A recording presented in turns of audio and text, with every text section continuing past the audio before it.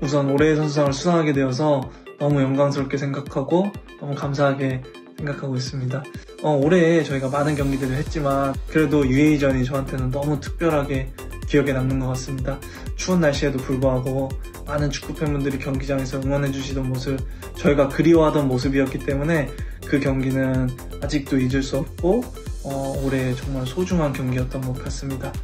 마지막으로 이제 월드컵으로 가는 과, 정이 저희가 확정된 것이 하나도 없기 때문에 이제 지금 진행되고 있는 최종 예선에서 저희가 끝까지 최선을 다해서 또 한 번 다시 월드컵에 나갈 수 있도록 최선을 다해서 준비하겠습니다. 다시 한번 진심으로 감사드립니다.